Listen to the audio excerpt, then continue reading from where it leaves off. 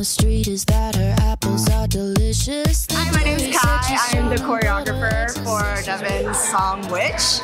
And my whole idea behind it is just womanhood, sisterhood, and being control of your body as a woman. And yeah, it's been great because it's such a funky song. So I brought on my funk people that are waackers. Yeah, hopefully, uh, hopefully we get a lot of fun moments and have a lot of fun.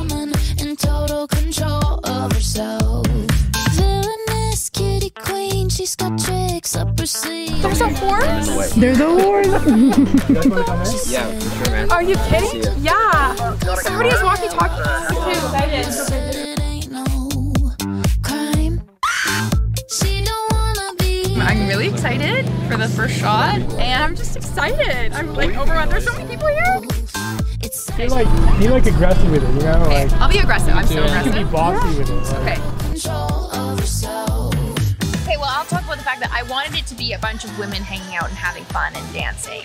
100%. That was my vision for it because I think that's what the song calls for togetherness and womanhood and mm-hmm. shaking your booty.